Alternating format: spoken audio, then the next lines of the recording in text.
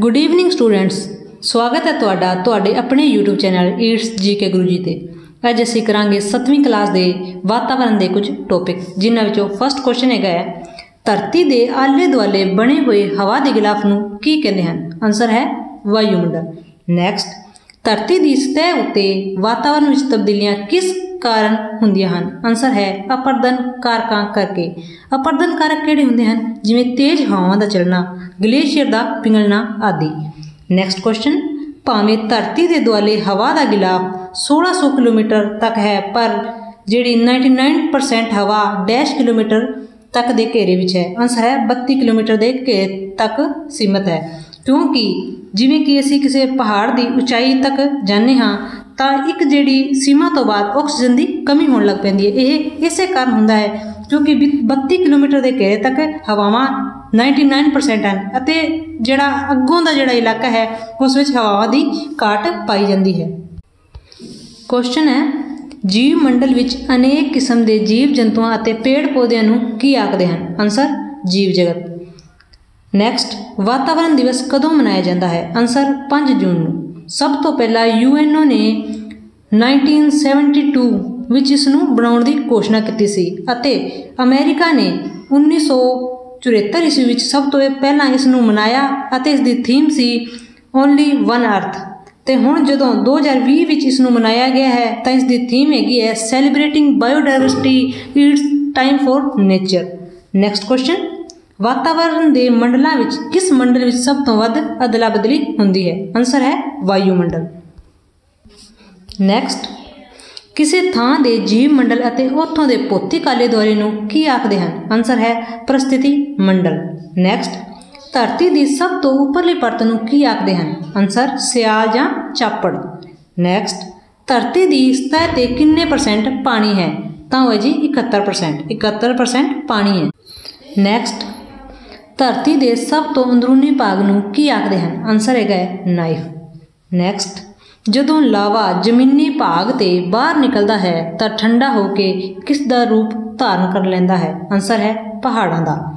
Next ਧਰਤੀ ਦੇ ਅੰਦਰੂਨੀ ਭਾਗ ਵਿੱਚ ਮਿਲਦੇ ਅਤਿਅੰਤ ਗਰਮ ਅਤੇ ਪਿੰਗਲੇ ਤਰਲ ਨੂੰ ਕੀ ਕਹਿੰਦੇ ਹਨ? ਆਨਸਰ ਹੈ ਮੈਗਮਾ। ਜੇ ਮੰਨ ਲਓ, ਆਹ ਧਰਤੀ ਦੀ ਸਤਹ ਹੈਗੀ ਹੈ ਅਤੇ ਇਹ ਇਥੋਂ ਕਮਜ਼ੋਰ ਹੈਗੀ ਹੈ। ਜਦੋਂ ਧਰਤੀ ਦੇ ਹੇਠਾਂ ਪਿੰਗਲਿਆ ਹੋਇਆ ਰਸਾਇਣਿਕ ਪਦਾਰਥ ਬਾਹਰ ਨਿਕਲਣ ਦੀ ਕੋਸ਼ਿਸ਼ ਕਰਦਾ ਹੈ, ਤਾਂ ਧਰਤੀ ਦੀ ਆਪ ਜਿਹੜੀ ਪਰਤ ਨੂੰ ਉਹ ਚੀਰ ਦਿੰਦਾ ਹੈ। ਜਦੋਂ ਇਹ ਅੰਦਰ ਪਿੰਗਲਿਆ ਹੋਇਆ ਪਦਾਰਥ ਹੁੰਦਾ ਹੈ, ਤਾਂ ਇਸ ਨੂੰ ਮੈਗਮਾ ਕਹਿੰਦੇ ਹਨ ਅਤੇ ਜਦੋਂ ਇਹ ਬਾਹਰ ਧਰਤੀ ਉੱਤੇ ਆ ਜਾਂਦਾ ਹੈ ਤੇ ਠੰਡਾ ਹੋ ਜਾਂਦਾ ਹੈ, ਤਾਂ ਇਸ ਨੂੰ ਕੀ ਕਹਿੰਦੇ ਹਨ? ਲਾਵਾ। ਨੈਕਸਟ ਚੁੰਨਾ ਪੱਥਰ ਤੋਂ ਰੂਪਾਂਤਰਿਤ ਚਟਾਨ ਦਾ ਨਾਂ ਦੱਸੋ। ਆਨਸਰ ਹੈ ਸੰਗਮਰਮਰ। ਭਾਵ ਕੀ ਹੈ ਕਿ ਜਦੋਂ ਚੁੰਨੇ ਦੀਆਂ ਚਟਾਨਾਂ ਵਿੱਚ ਰਸਾਇਣਿਕ ਕਿਰਿਆ ਹੋ ਜਾਂਦੀ ਹੈ ਅਤੇ ਉਹ ਚੁੰਨਾ ਨਾ ਰਹਿ ਕੇ ਸੰਗਮਰਮਰ ਬਣ ਜਾਂਦਾ ਹੈ। ਨੈਕਸਟ ਜਦੋਂ ਪ੍ਰithvi ਅੰਦਰਲਾ ਗਰਮ ਤਰਲ ਪਦਾਰਥ ਧਰਤੀ ਦੀ ਸਤਹ ਉੱਤੇ ਆ ਜਾਂਦਾ ਹੈ ਤਾਂ ਇਸ ਨੂੰ ਕੀ ਕਹਿੰਦੇ ਹਨ? Answer lava. ਅਗਲਾ, ਤਰਲ ਸੋਨਾ ਕਿਸ ਨੂੰ ਕਹਿੰਦੇ ਹਨ? ਆਨਸਰ ਪੈਟਰੋਲੀਅਮ ਨੈਕਸਟ ਐਲੂਮੀਨੀਅਮ ਦੀ ਕੱਚੀ ਧਾਤ ਦਾ ਨਾਂ ਦੱਸੋ। ਆਨਸਰ ਬਾਕਸਾਈਟ ਅਗਲਾ ਉੱਤਰੀ ਅਮਰੀਕਾ ਦੇ ਘਾਹ ਦੇ ਮੈਦਾਨਾਂ ਦਾ ਨਾਂ ਦੱਸੋ। ਆਨਸਰ ਹੈ ਪ੍ਰੇਰੀਜ਼ ਅਤੇ ਕੈਨੇਡਾ ਦੇ ਘਾਹ ਦੇ ਮੈਦਾਨ, ਮੈਦਾਨਾਂ ਨੂੰ ਵੀ ਪ੍ਰੇਰੀਜ਼ ਹੀ ਕਿਹਾ ਜਾਂਦਾ ਹੈ। ਨੈਕਸਟ ਧਰਤੀ ਦੀ ਸਤਹ ਉੱਤੇ ਲਗਾਤਾਰ ਹੋਣ ਵਾਲੀਆਂ ਤਬਦੀਲੀਆਂ ਦਾ ਕੀ ਕਾਰਨ ਹੁੰਦਾ ਹੈ? ਆਨਸਰ ਧਰਤੀ ਦੀ ਅੰਦਰਲੀ ਜਾਂ ਬਾਹਰਲੀ ਹਿਲਜੁਲ। ਨੈਕਸਟ ਪਰਬਤਾਂ ਦੀਆਂ ਚਾਰ ਕਿਸਮਾਂ ਦੇ ਨਾਂ ਲਿਖੋ। ਵਲਨ ਪਰਬਤ, ਬਲੌਕ ਪਰਬਤ ਅਤੇ ਬਚੇ ਬਚੇ ਪਰਬਤ। ਅਤੇ ਜਵਾਲਾਮੁਖੀ ਪਰਬਤ। ਵਲਨ ਪਰਬਤ ਕੀ ਹੁੰਦੇ ਨੇ? ਜਿਹੜੇ ਮੋੜਦਾਰ ਪਰਬਤ ਹੁੰਦੇ ਨੇ, ਜਿਵੇਂ ਕਿ ਹਿਮਾਲਿਆ ਪਰਬਤ। ਬਲੌਕ ਪਰਬਤ ਬਲੌਕ ਪਰਬਤ ਉਹ ਪਰਬਤ ਹੁੰਦੇ ਹਨ ਜਿਹੜੇ ਕਿ ਦੋ ਨਦੀ ਘਾਟੀਆਂ ਦੇ ਵਿਚਕਾਰ ਹੋਵੇ। ਜਿਵੇਂ ਕਿ ਨਰਮਦਾ ਅਤੇ ਤਾਪਤੀ ਨਦੀਆਂ ਦੇ ਵਿਚਕਾਰ ਸਤਪੁੜਾ ਪਹਾੜੀ ਸ਼੍ਰੇਣੀਆਂ ਹਨ ਅਤੇ ਇਹ ਇੱਕ ਬਲੌਕ ਪਰਬਤ ਕਹਾਉਂਦੇ ਹਨ।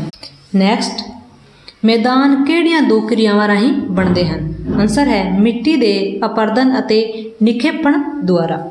ਨੈਕਸਟ ਭੂਚਾਲ ਦੀ ਤੀਬਰਤਾ ਕਿਸ ਤਰ੍ਹਾਂ ਮਾਪੀ ਜਾਂਦੀ ਹੈ? ਆਨਸਰ ਹੈ ਰਿਕਟਰ ਸਕੇਲ ਦੁਆਰਾ। ਜਿਹੜਾ ਰਿਕਟਰ ਸਕੇਲ ਹੈ, ਇਸ ਦੀ ਖੋਜ ਅਮਰੀਕਾ ਦੇ ਭੂ ਵਿਗਿਆਨੀ ਚਾਰਲਸ ਰਿਕਟਰ ਨੇ ਕੀਤੀ।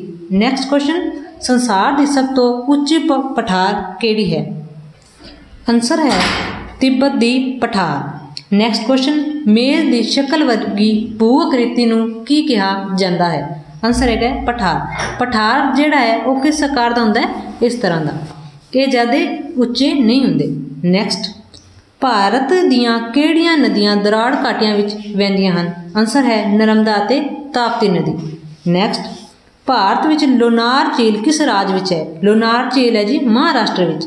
ਲੋਨਾਰ ਝੀਲ ਹੁੰਦੀ ਕੀ ਹੈ? ਜਿਹੜੀ ਜਵਾਲਾਮੁਖੀ ਨਾਲ ਨਿਰਮਿਤ ਹੋਵੇ। ਜਿਵੇਂ ਕਿ ਕਿਸੇ ਜਵਾਲਾਮੁਖੀ ਦੇ ਫਟਣ ਕਾਰਨ ਇਹੋ ਜੀ ਜਿਹੜੀ ਸਥਿਤੀ ਬਣ ਜਾਂਦੀ ਹੈ। ਇਤੋਂ ਜਿਹੜਾ ਹੈ ਲਾਵਾ ਨਿਕਲਦਾ ਹੈ, ਪਰ ਜਦੋਂ ਇਹ ਲਾਵਾ ਠੰਡਾ ਹੋ ਜਾਂਦਾ ਹੈ, ਤਾਂ ਇਹ ਜਿਹੜਾ ਇੱਕ ਕ੍ਰੇਟਰ, ਇਸ ਨੂੰ ਜਿਸ ਨੂੰ ਕਿ ਕ੍ਰੇਟਰ ਕਹਿੰਦੇ ਹਨ, ਇਹ ਇੱਕ ਖਾਲੀ ਕਟੋਰੀ ਵਾਂਗ ਬਣ ਜਾਂਦਾ ਹੈ ਅਤੇ ਇਸੇ ਕਟੋਰੀ ਵਿੱਚ ਜਦੋਂ ਵਰਖਾ ਦਾ ਪਾਣੀ ਇਕੱਠਾ ਹੋ ਜਾਂਦਾ ਹੈ, ਤਾਂ ਇਹ ਇੱਕ ਝੀਲ ਦਾ ਰੂਪ ਧਾਰਨ ਕਰ ਲੈਂਦਾ ਹੈ। ਨੈਕਸਟ ਪੁਚਾਲ ਕਾਰਨ ਹੋਏ ਨੁਕਸਾਨ ਨੂੰ ਮਾਪਣ ਲਈ ਕਿਹੜਾ ਪੈਮਾਨਾ ਵਰਤਿਆ ਜਾਂਦਾ ਹੈ? ਆਨਸਰ ਮਰਕਾਲੀ ਪੈਮਾਨਾ। ਨੈਕਸਟ ਹਵਾ ਵਿੱਚ ਸਭ ਤੋਂ ਜ਼ਿਆਦਾ ਗੈਸ ਕਿਹੜੀ ਹੈ? ਆਨਸਰ ਹੈ ਨਾਈਟ੍ਰੋਜਨ। ਨਾਈਟ੍ਰੋਜਨ ਕਿੰਨੇ ਪਰਸੈਂਟ ਹੈ? 78% ਅਤੇ ਆਕਸੀਜਨ 21% ਅਤੇ ਜਿਹੜੀ ਕਾਰਬਨ ਡਾਈਆਕਸਾਈਡ ਹੈ, ਉਹ ਹੈ 0.03% ਨੈਕਸਟ ਵਾਯੂਮੰਡਲ ਦੀਆਂ ਤਈਆਂ ਦੇ ਨਾਂ ਦੱਸੋ। ਆਨਸਰ ਹੈ ਅਸ਼ਾਂਤ ਮੰਡਲ ਸਮਤਾਪ ਮੰਡਲ, ਮਧਵਰਤੀ ਮੰਡਲ ਅਤੇ ਇੱਕ ਹੁੰਦਾ ਹੈ ਆਇਨ ਮੰਡਲ ਅਤੇ ਫਿਰ ਹੁੰਦਾ ਹੈ ਤਾਪ ਮੰਡਲ।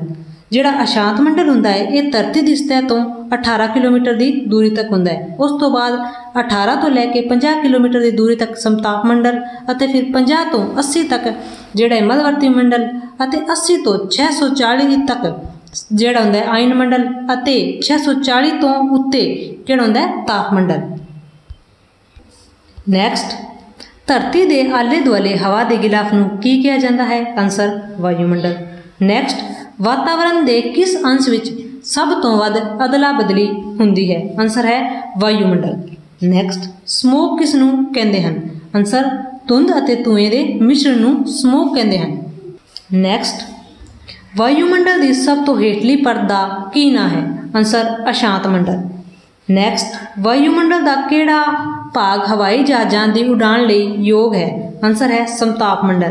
ਇਹ ਜਿਹੜਾ ਅਸ਼ਾਂਤ ਮੰਡਲ ਹੁੰਦਾ ਹੈ, ਇਸੇ ਵਿੱਚ ਵਰਖਾ ਤੇ ਬੱਦਲ ਵੇਖਣ ਨੂੰ ਮਿਲਦੇ ਹਨ। ਤੇ ਜਿਹੜਾ ਸਮਤਾਪ ਮੰਡਲ ਹੁੰਦਾ ਹੈ, ਇਸੇ ਵਿੱਚ ਇਹ ਓਜ਼ੋਨ ਪਰਤ ਪਾਈ ਜਾਂਦੀ ਹੈ। ਨੈਕਸਟ ਓਜ਼ੋਨ ਪਰਤ ਕਿਹੜੀਆਂ ਹਾਨੀਕਾਰਕ ਕਿਰਨਾਂ ਨੂੰ ਧਰਤੀ ਤੇ ਆਉਣ ਤੋਂ ਰੋਕਦੀ ਹੈ? ਆਨਸਰ ਹੈ ਪ੍ਰਾਵੇਂਗਣੀ ਕਿਰਨਾਂ। ਅਗਲਾ, ਤਾਪ ਮੰਡਲ ਦੀ ਹੇਠਲੀ ਤੈਨੂੰ ਕੀ ਕਹਿੰਦੇ ਹਨ? ਆਨਸਰ ਆਇਨ ਮੰਡਲ। ਨੈਕਸਟ ਪਾਣੀ ਦਾ ਜਮਾਓ ਅਤੇ ਉਬਾਲ ਦਰਜਾ ਕਿੰਨਾ ਹੈ? ਆਨਸਰ ਪਾਣੀ ਦਾ ਜਮਾਓ ਦਰਜਾ 0 ਡਿਗਰੀ ਸੈਂਟੀਗ੍ਰੇਡ ਅਤੇ ਉਬਾਲ ਦਰਜਾ 100 ਡਿਗਰੀ ਸੈਂਟੀਗ੍ਰੇਡ ਹੈ। ਨੈਕਸਟ ਧਰੂਵਾਂ ਵੱਲ ਚੱਲਣ ਵਾਲੀਆਂ ਪੌਣਾਂ ਨੂੰ ਕੀ ਕਿਹਾ ਜਾਂਦਾ ਹੈ? ਉਹਨਾਂ ਨੂੰ ਪੱਛਮੀ ਪੌਣਾ ਕਿਹਾ ਜਾਂਦਾ ਹੈ। ਅਗਲਾ, ਵਪਾਰਕ ਪੌਣਾ, ਪੱਛਮੀ ਪੌਣਾ ਨੂੰ ਹੋਰ ਕੀ ਨਾਂ ਦਿੱਤਾ ਜਾਂਦਾ ਹੈ? ਆਨਸਰ ਸਥਾਈ ਪੌਣਾ।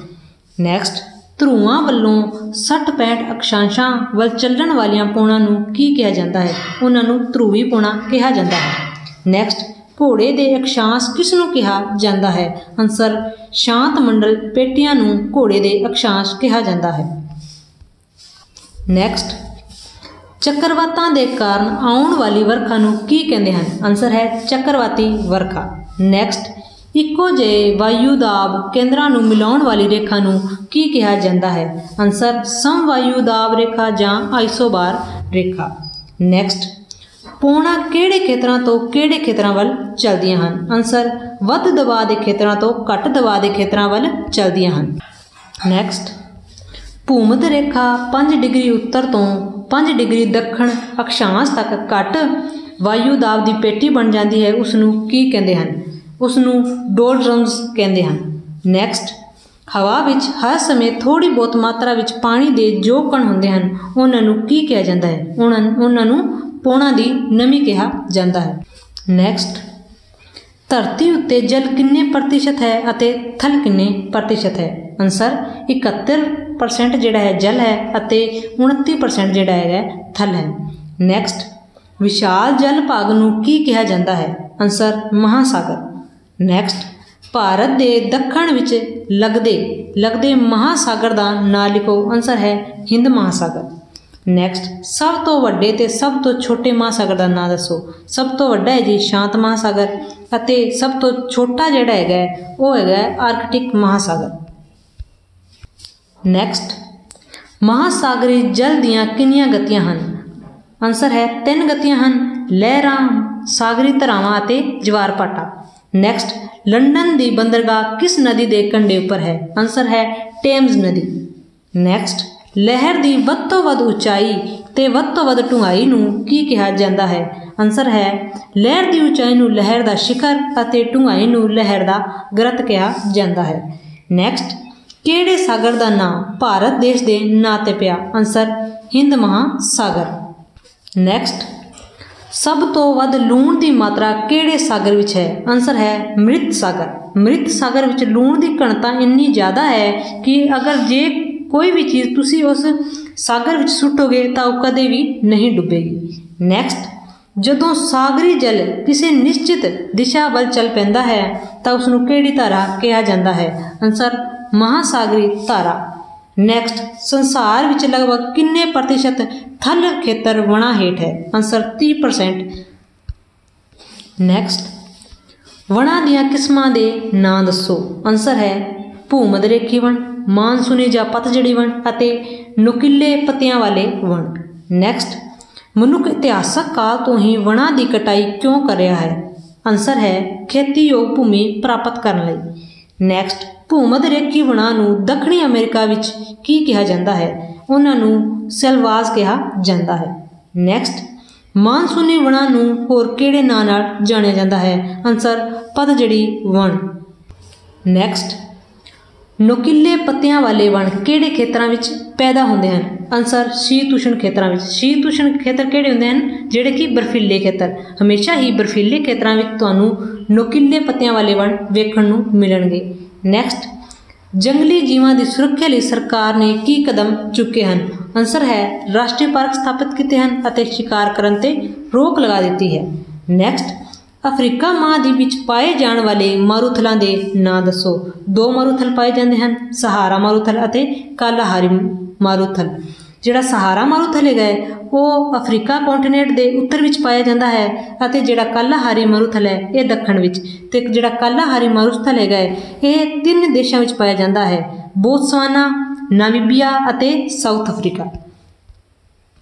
ਨੈਕਸਟ ਆਸਟ੍ਰੇਲੀਆ ਵਿੱਚ ਸ਼ੀਤ ਉਸ਼ਣ ਘਾਹ ਦੇ ਮੈਦਾਨਾਂ ਨੂੰ ਕੀ ਕਹਿੰਦੇ ਹਨ? ਆਨਸਰ ਡਾਊਨਸ ਅਤੇ ਅਮਰੀਕਾ ਵਿੱਚ? ਅਮਰੀਕਾ ਵਿੱਚ ਇਹਨਾਂ ਨੂੰ ਪ੍ਰੀਆਰਸ ਕਹਿੰਦੇ ਹਨ। ਆਪਾਂ ਪਹਿਲਾਂ ਪੜਿਆ ਸੀ। ਠੀਕ ਹੈ? ਨੈਕਸਟ ਸ਼ੀਤ ਉਸ਼ਣ ਘਾਹ ਦੇ ਮੈਦਾਨਾਂ ਨੂੰ ਦੱਖਣੀ ਅਮਰੀਕਾ ਵਿੱਚ ਹੋਰ ਕਿਹੜੇ ਨਾਂ ਨਾਲ ਜਾਣਿਆ ਜਾਂਦਾ ਹੈ? ਆਨਸਰ ਪੰਪਾਜ਼. ਨੈਕਸਟ ਸਭ ਤੋਂ ਪਹਿਲਾਂ ਮਨੁੱਖ ਨੇ ਕਿੱਥੇ ਰਹਿਣਾ ਸ਼ੁਰੂ ਕੀਤਾ? ਆਨਸਰ ਦਰਿਆਵਾਂ ਦੀਆਂ ਘਾਟੀਆਂ ਵਿੱਚ। ਕਿਉਂ? ਕਿਉਂਕਿ ਇੱਥੇ ਉਹਨਾਂ ਦੀ ਜਿਹੜੀ ਪਾਣੀ ਦੀ ਪੂਰਤੀ ਹੋ ਜਾਂਦੀ ਸੀ। ਨੈਕਸਟ ਜਾਪਾਨ ਦੀ ਬੁਲੇਟ ਰੇਲ ਗੱਡੀ ਦੀ ਰਫ਼ਤਾਰ ਕਿੰਨੀ ਹੈ? ਆਨਸਰ ਹੈ 500 ਕਿਲੋਮੀਟਰ ਪ੍ਰਤੀ ਘੰਟਾ। ਨੈਕਸਟ ਭਾਰਤ ਵਿੱਚ ਕਿਹੜੇ ਦਰਿਆ ਅੰਦਰੂਨੀ ਜਲਮਾਰਗ ਦਾ ਕੰਮ ਕਰਦੇ ਹਨ? ਆਨਸਰ ਹੈ ਗੰਗਾ ਅਤੇ ਬ੍ਰਹਮਪੁੱਤਰ ਦਰਿਆ ਅੰਦਰੂਨੀ ਜਲਮਾਰਗ ਦਾ ਕੰਮ ਕਰਦੇ ਹਨ। ਨੈਕਸਟ ਸਵੇਜ ਨਹਿਰ ਕਿਹੜੇ ਸਾਗਰਾਂ ਨੂੰ ਮਿਲਾਉਂਦੀ ਹੈ? ਆਨਸਰ ਹੈ ਭੂਮਲ ਸਾਗਰ ਅਤੇ ਲਾਲ ਸਾਗਰ ਨੂੰ। ਇਹ ਜਿਹੜੀ ਨਹਿਰ ਹੈ, ਇਹ ਏਸ਼ੀਆ ਮਹਾਦੀਪ ਅਤੇ ਜਿਹੜਾ ਅਫਰੀਕਾ ਮਹਾਦੀਪ ਹੈ ਉਤੋਂ ਦੇ ਭੂਥਲ ਨੂੰ ਕੱਟ ਕੇ ਬਣਾਈ ਗਈ ਹੈ, ਜਿਹੜੀ ਕਿ ਇਧਰ ਲਾਲ ਸਾਗਰ ਅਤੇ ਇਧਰ ਜਿਹੜਾ ਭੂਮਲ ਸਾਗਰ ਨੂੰ ਜੋੜਦੀ ਹੈ। ਨੈਕਸਟ ਕਿਸ ਦੇ ਵਿਕਾਸ ਕਾਰਨ ਪੂਰਾ ਸੰਸਾਰ ਹੀ ਇੱਕ ਗਲੋਬਲ ਪਿੰਡ ਬਣ ਗਿਆ ਹੈ? ਆਨਸਰ ਹੈ, ਆਵਾਜਾਈ ਅਤੇ ਸੰਚਾਰ ਦੇ ਸਾਧਨਾਂ ਕਾਰਨ। ਨੈਕਸਟ ਕਿਹੜੇ ਮਾਰਗ ਤੇ ਸੰਸਾਰ ਦਾ ਸਭ ਤੋਂ ਵੱਧ ਵਪਾਰ ਹੁੰਦਾ ਹੈ? ਆਨਸਰ ਹੈ ਉੱਤਰੀ ਅੰਧ ਮਹਾਸਾਗਰ ਮਾਰਗ ਤੇ। ਨੈਕਸਟ ਜਿਹੜਾ ਰੇਲ ਮਾਰਗ ਲੈਨਿਨਗ੍ਰਾਦ ਨੂੰ ਵਲਾਡੀਵਾਸਤਕ ਨਾਲ ਜੋੜਦਾ ਹੈ ਉਸ ਨੂੰ ਕੀ ਕਿਹਾ ਜਾਂਦਾ ਹੈ? ਆਨਸਰ ਉਸ ਨੂੰ ਟ੍ਰਾਂਸ ਸਾਈਬੇਰੀਅਨ ਰੇਲਵੇ ਕਿਹਾ ਜਾਂਦਾ ਹੈ। ਨੈਕਸਟ ਕਿਹੜਾ ਜਲ ਮਾਰਗ ਪੱਛਮੀ ਯੂਰਪ, ਸੰਯੁਕਤ ਰਾਜ ਅਮਰੀਕਾ ਅਤੇ ਕੈਨੇਡਾ ਨੂੰ ਮਿਲਾਉਂਦਾ ਹੈ? ਆਨਸਰ ਹੈ ਉੱਤਰੀ ਅੰਧ ਮਹਾਸਾਗਰ। ਕਿਵੇਂ? ਜਿਵੇਂ ਇੱਧਰ ਕਨੇਡਾ ਉੱਪਰ ਕਨੇਡਾ, ਫਿਰ ਅਮਰੀਕਾ ਤੇ ਹੇਠਾਂ ਮੈਕਸੀਕੋ ਹੈਗਾ ਤੇ ਇੱਧਰ ਯੂਰਪ ਯੂਰਪ ਹੈਗਾ ਠੀਕ ਹੈ, ਤੇ ਜਿਹੜਾ ਇਹ ਜਿਹੜਾ ਇਲਾਕਾ ਹੈ ਨਾ ਆ ਹੈ ਅੰਧ ਮਹਾਸਾਗਰ ਦਾ। ਤਾਂ ਇਹ ਜਿਹੜਾ ਜਲ ਮਾਰਗ ਹੈ, ਇਹ ਇਹਨਾਂ ਦੋਨਾਂ ਨੂੰ ਮਿਲਾਉਂਦਾ ਹੈ। ਨੈਕਸਟ ਕੁਐਸਚਨ ਹੈਗਾ ਕਿਹੜਾ ਜਲ ਮਾਰਗ ਉੱਤਰੀ ਅਮਰੀਕਾ ਅਤੇ ਦੱਖਣੀ ਅਮਰੀਕਾ ਨੂੰ, ਏਸ਼ੀਆ ਅਤੇ ਆਸਟ੍ਰੇਲੀਆ ਨੂੰ ਮਿਲਾਉਂਦਾ ਹੈ? ਆਨਸਰ ਹੈ ਸ਼ਾਂਤ ਮਹਾਸਾਗਰ ਮਾਰਗ। ਨੈਕਸਟ ਕਿਹੜੀ ਪ੍ਰਸਿੱਧ ਨਹਿਰ ਪਨਾਮਾ ਗਣਰਾਜ ਵਿੱਚੋਂ ਬਣਾਈ ਗਈ ਹੈ? ਆਨਸਰ ਹੈ ਪਨਾਮਾ ਨਹਿਰ। ਅਗਲਾ, ਸੰਸਾਰ ਦਾ ਉੱਚਤਮ ਤਾਪਮਾਨ 58 ਡਿਗਰੀ ਸੈਲਸੀਅਸ ਕਿਹੜੇ ਸਥਾਨ ਤੇ ਮਾਪਿਆ ਗਿਆ ਹੈ? ਆਨਸਰ ਹੈ ਸਹਾਰਾ ਦੇ ਅਜ਼ੀਜ਼ੀਆ ਸਥਾਨ ਤੇ। ਇਹ ਕਿੱਥੇ ਜੀ? ਇਹ ਜਿਹੜਾ ਅਫਰੀਕਾ ਕੰਟੀਨੈਂਟ ਵਿੱਚ ਹੈ। ਨੈਕਸਟ ਲੱਦਾਖ ਨੂੰ ਚੰਨ ਧਰਤੀ ਕਿਉਂ ਕਿਹਾ ਜਾਂਦਾ ਹੈ? ਆਨਸਰ ਕਿਉਂਕਿ ਉੱਥੇ ਪਹੁੰਚਣਾ ਬਹੁਤਾ ਆਸਾਨ ਨਹੀਂ ਹੈ। ਨੈਕਸਟ ਸਹਾਰਾ ਮਾਰੂਥਲ ਲੰਬੇ ਸਫ਼ਰ ਲਈ, ਲੋਕ ਪਾਣੀ ਲਈ ਕਿਸ ਚੀਜ਼ ਦਾ ਪ੍ਰਯੋਗ ਕਰਦੇ ਹਨ? ਆਨਸਰ ਕੁੰਨਾ ਨਾਂ ਦੀ ਛੋਟੀ ਮਸ਼ਕ ਦਾ। ਨੈਕਸਟ ਲੱਦਾਖ ਨੂੰ ਜਾਣ ਲਈ ਕਿਹੜੇ ਮੁੱਖ ਦਰੇ ਹਨ? ਆਨਸਰ ਹੈ ਕਾਰਾਕੋਰਮ ਅਤੇ ਜੋਜੀਲਾ। ਜੰਮੂ ਕਸ਼ਮੀਰ ਤੋਂ ਬਾਅਦ ਲੱਦਾਖ ਪਹੁੰਚਣ ਲਈ ਦੋ ਦਰਿਆਂ ਦਾ ਪ੍ਰਯੋਗ ਹੁੰਦਾ ਹੈ, ਕਾਰਾਕੋਰਮ ਅਤੇ ਜ਼ੋਜੀਲਾ। ਨੈਕਸਟ ਦੱਖਣੀ ਅਫਰੀਕਾ ਦੇ ਜੋਨਸਬਰਗ ਦੇ ਨੇੜੇ ਖਾਨਾਂ ਵਿੱਚੋਂ ਕੀ ਕੱਢਿਆ ਜਾਂਦਾ ਹੈ? ਆਨਸਰ ਸੋਨਾ, ਕਿਉਂਕਿ ਜੋਨਸਬਰਗ ਨੂੰ ਸੋਨੇ ਦਾ ਸ਼ਹਿਰ ਕਿਹਾ ਜਾਂਦਾ ਹੈ, ਕਿਉਂਕਿ ਇੱਥੇ ਖਾਨਾਂ ਵਿੱਚ ਬਹੁਤ ਜ਼ਿਆਦਾ ਸੋਨਾ ਹੈ। ਨੈਕਸਟ ਦੁਨੀਆ ਦਾ ਸਭ ਤੋਂ ਵੱਡਾ ਦਰਿਆ ਕਿਹੜਾ ਹੈ? ਆਨਸਰ ਨੀਲ ਦਰਿਆ। ਨੈਕਸਟ ਸਹਾਰਾ ਮਾਰੂਥਲ ਕਿੰਨਾ ਲੰਬਾ ਹੈ?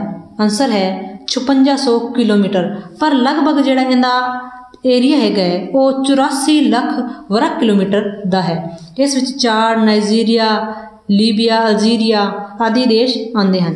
ਨੈਕਸਟ ਉੱਤਰੀ ਅਮਰੀਕਾ ਦੇ ਘਾਹ ਦੇ ਮੈਦਾਨਾਂ ਨੂੰ ਕੀ ਕਿਹਾ ਜਾਂਦਾ ਹੈ? ਆਨਸਰ ਹੈ prairie, prairies. Next Ganga Brahmaputra ਦੇ ਦਰਿਆ ਜੋ ਸਾਂਝਾ ਡੈਲਟਾ ਬਣਾਉਂਦੇ ਹਨ ਉਸ ਨੂੰ ਕਿਸ ਨਾਂ ਨਾਲ ਜਾਣਿਆ ਜਾਂਦਾ ਹੈ? ਆਨਸਰ ਹੈ ਸੁੰਦਰਬਨ ਡੈਲਟਾ। ਨੈਕਸਟ ਭਾਰਤੀ ਉਪ ਉਪਮਹਾਦੀਪ ਨੂੰ ਪੂਰਵ ਕਾਲ ਵਿੱਚ ਕੀ ਕਿਹਾ ਜਾਂਦਾ ਸੀ? ਆਨਸਰ ਹੈ ਹਿੰਦੁਸਤਾਨ ਜਾਂ ਭਾਰਤਵਰਸ਼ ਨੈਕਸਟ ਭਾਰਤ ਉਪ ਉਪਮਹਾਦੀਪ ਵਿੱਚ ਕਿਹੜੇ-ਕਿਹੜੇ ਦੇਸ਼ ਸ਼ਾਮਿਲ ਸਨ? ਆਨਸਰ ਹੈ ਪਾਕਿਸਤਾਨ, ਅਫਗਾਨਿਸਤਾਨ, ਨੇਪਾਲ, ਭੂਟਾਨ, ਬੰਗਲਾਦੇਸ਼ ਅਤੇ ਭਾਰਤ। ਉਪਮਹਾਦੀਪ ਕੀ ਹੁੰਦਾ ਹੈ? ਉਹ ਧਰਤੀ ਜਿਸ ਦੇ ਤਿੰਨ ਪਾਸੇ ਪਾਣੀ ਹੋਵੇ, ਜਿਵੇਂ ਇਸ ਦੇ ਜਿਹੜਾ ਸ਼੍ਰੀਲੰਕਾ ਵਾਲਾ ਸਾਡਾ ਪੋਰਸ਼ਨ ਹੈਗਾ ਉਸ ਵਿੱਚ ਕੀ ਹੈ? ਇਧਰ ਬੰਗਾਲ ਦੀ ਖਾੜੀ ਹੇਠਾਂ ਹਿੰਦ ਮਹਾਸਾਗਰ ਅਤੇ ਇਧਰ ਅਰਬ ਸਾਗਰ ਹੈ। ਤਾਂ ਇਹ ਕੀ ਕਹਾਊਗਾ? ਉਪ ਮਹਾਦੀਪ ਨੈਕਸਟ ਇਤਿਹਾਸ ਦੇ ਪ੍ਰਾਚੀਨ ਯੁੱਗ ਅਤੇ ਆਧੁਨਿਕ ਯੁੱਗ ਦੇ ਵਿਚਕਾਰਲੇ ਪਾ, ਵਿਚਕਾਰਲੇ ਸਮੇਂ ਨੂੰ ਕੀ ਕਿਹਾ ਜਾਂਦਾ ਹੈ? ਆਨਸਰ ਹੈ ਮੱਧਕਾਲੀਨ ਯੁੱਗ। ਅਗਲਾ, ਚੀਨੀਆਂ ਨੇ ਭਾਰਤ ਨੂੰ ਕੀ ਨਾਂ ਦਿੱਤਾ? ਆਨਸਰ ਹੈ ਤਾਇੰਚੂ। ਨੈਕਸਟ ਪ੍ਰਾਚੀਨ ਸਮਾਰਕ, ਮੰਦਰ, ਸ਼ਿਲਾਲੇਖ, ਸਿੱਕੇ, ਬਰਤਨ, ਗਹਿਣੇ ਆਦਿ ਕਿਹੜੇ ਸਰੋਤ ਹਨ? ਆਨਸਰ ਹੈ ਪੁਰਾਤਵ ਸਰੋਤ। ਨੈਕਸਟ ਬਾਈਬਲ ਵਿੱਚ ਭਾਰਤ ਨੂੰ ਕੀ ਨਾਂ ਦਿੱਤਾ ਗਿਆ? ਆਨਸਰ ਹੋਡੂ। ਨੈਕਸਟ ਵੈਦਿਕ ਕਾਲ ਵਿੱਚ ਭਾਰਤ ਨੂੰ ਕੀ ਨਾਂ ਦਿੱਤਾ ਗਿਆ? ਆਨਸਰ ਹੈ ਆਰਿਆਵਰਤ ਆਰਿਆ ਨੂੰ ਕੀ ਕਹਿੰਦੇ ਹਨ? ਸ੍ਰੇਸ਼ਟ। ਆਰਿਆ ਲੋਕ, ਸ੍ਰੇਸ਼ਟ ਲੋਕ ਹੁੰਦੇ ਸਨ।